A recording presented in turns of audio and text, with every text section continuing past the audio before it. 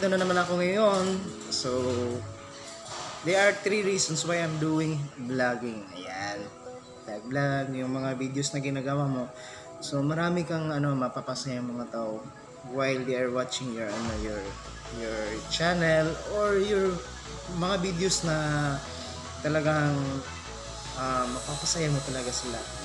So, I really thank God dahil kahit maliit pa lang yung ano yung channel natin, marami na tayong mga taong ano na papasaya, na papa-smile natin. Yun.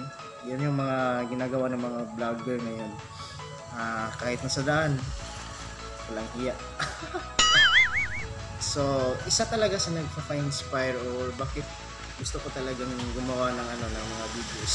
Ah, thank you Lods. Oh, Lodi Mahalya for inspiring me nga in doing this ano this YouTube ah, YouTube video or mga video na ginagawa nyo na talagang magpapasaya ng mga tao.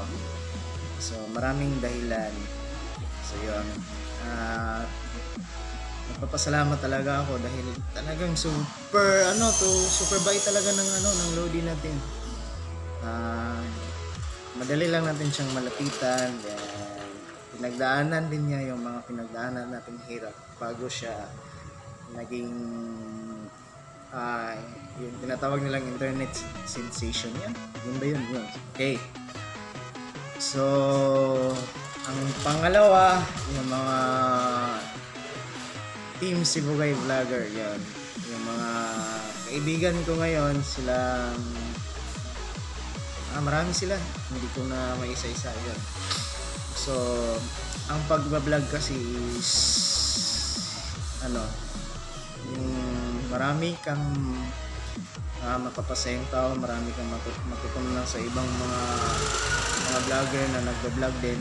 Nasi-share nila yung mga mga gifts nila or yung, yung mga talent nila ba? So yon ang pagbablog talaga Ah, hirap maraming pa-share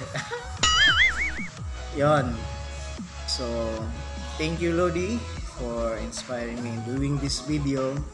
Ah, marami kang talagang mapapasaya in doing corny corny videos yon so yon yan lang talaga ang masasabi ko. Super mabait na kasi okay? Thank you. God bless